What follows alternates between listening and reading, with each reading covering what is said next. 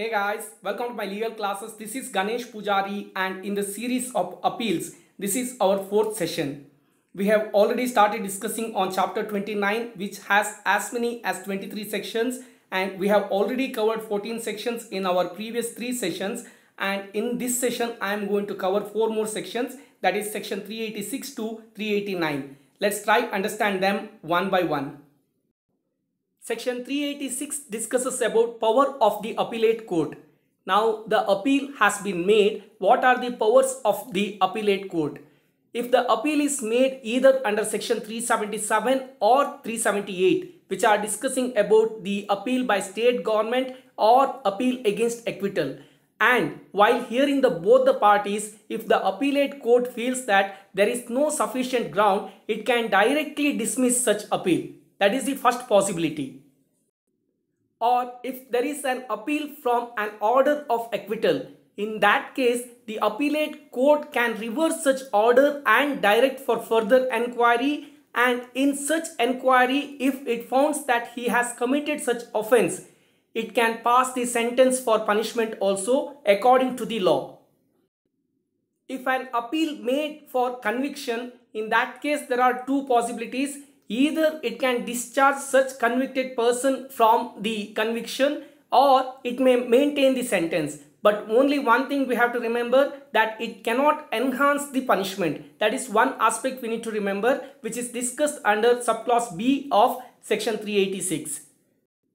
While B discusses about appeal from a conviction, C discusses about appeal for enhancement of sentence. Under B, there can be convicted held but there cannot be any enhancement in the punishment whereas subsection C gives exactly the same opportunity where the appeal is made for the enhancement of sentence and after adequate enquiry the appellate court can either enhance or reduce the sentence that is possible as per subsection C. So D discusses about appeal from any other order and the appellate court got all the right to reverse such order also and further it can make any amendment or any consequential or incidental order that may be just and proper. But however, while doing so, it should not enhance anybody's punishment. If it is doing, it should give an opportunity to the accused to show cause that why should the court should not do that. That opportunity to be given.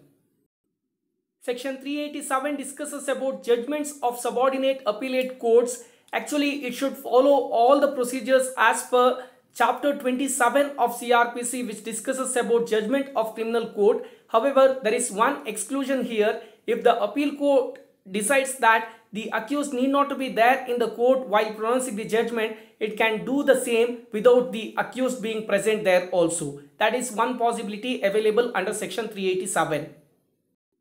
Section 388 discusses about order of High Court on appeal to be certified to lower court. In any case, whenever it is decided by High Court as an appeal, it shall certify its judgment or order to the court by which the finding, sentence or order appealed against was recorded or passed and if such court is that of a judicial magistrate other than the chief judicial magistrate, the High Court's judgment or order shall be sent through the chief judicial magistrate and if such court is that of an executive magistrate, the High Court's judgment or order shall be sent through the district magistrate. The court to which the High Court certifies its judgment or order shall thereupon make such orders as are comfortable to the judgment or order of the High Court and if necessary, the record shall be amended in accordance therewith. It is all the procedures to be followed once the judgment is given by the High Court as a appellate court. Section 389 discusses about suspension of sentence pending the appeal, release of appellant on bail. Now subsection 1 says if there is an appeal pending of a convicted person, in such case if he is under confinement, the appellate court can release him on his own bond. That opportunity is there but the reasons for the same shall be recorded by the appellate court. Even High Court can also function in the same way as Section 389 is applicable to High Court also. Subsection 3 says when a convicted person satisfies the court for an appeal, he shall get bail under two circumstances. One, when he is sentenced to imprisonment for a term not exceeding three years or if he has committed a bailable offense. In that case, he shall get bail.